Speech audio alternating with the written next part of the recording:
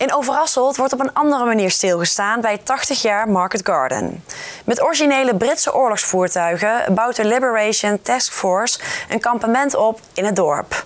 Kolonnes rijden de route zoals militairen deze ook in 1944 hebben gereden. In totaal slapen zo'n 400 man op het kamp, waar ze op een eigen manier stilstaan bij de gebeurtenis. Het weiland bij het dorp Overasselt ziet er weer heel even uit alsof het 1944 is. De Liberation Task Force bouwt hier een kampement op in een weiland dat een belangrijke rol heeft gespeeld tijdens operatie Market Garden. Het kamp wordt met zoveel mogelijk originele voertuigen en spullen opgebouwd. En dan proberen we het uit te dragen. Dus we proberen uh, originele uh, houten stoelen te gebruiken. Uh, en desnoods op een nutskist te gaan zitten als je wil zitten. Er wordt gekookt op een benzinebrander uit die tijd. Ja, weet je, dus die benzinegeur die ruik je. er wordt gekookt in originele emaille, pannetjes uit die tijd. Er worden eenvoudige maaltijden bereid. Ja, ik bedoel, dat soort dingen, ja. Op die manier wordt het kampement echt een belevenis dat draagt allemaal bij. Want het ruikt, je voelt, je ervaart. Uh, je, je, slaapt in originele tenten. Wij gaan niet naar een hotel of wat dan ook. We slapen echt gewoon hier in, in, in de originele tent. Die worden achter mij opgezet.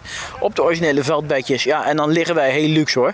Want toen was het heel vaak alleen maar je had je jas en dan, dan gaan we ergens in een grappel liggen. En dan moet je maar wachten of je eigen voorraden, je eigen spullen en je eigen troep op tijd aankomen om jou, om jou een goede nacht te bezorgen. In totaal komen hier zo'n 200 voertuigen samen. Een groot deel hiervan slaapt ook op het kamp, waar s'avonds nog een kleine herdenking plaatsvindt.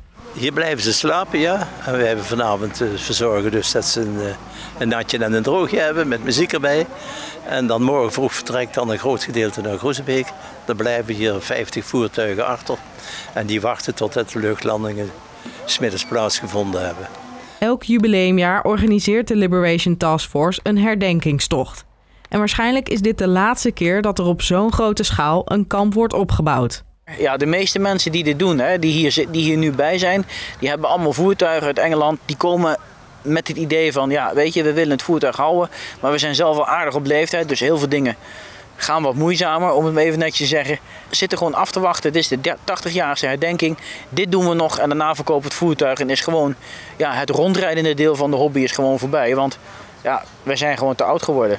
Naast de Liberation Task Force zijn er ook nog andere kleine groepjes aanwezig. Met ieder zo zijn eigen reden om hierbij te zijn. Ja, eigenlijk wil ik, wil ik uh, de geschiedenis levend houden. Wij zijn dus ook niet voor oorlog, wij zijn voor vrede. Uh, maar we willen de mensen laten zien van wat er gebeurd is. En uh, wat je daarvan kan leren. En dat het liever niet mag herhalen.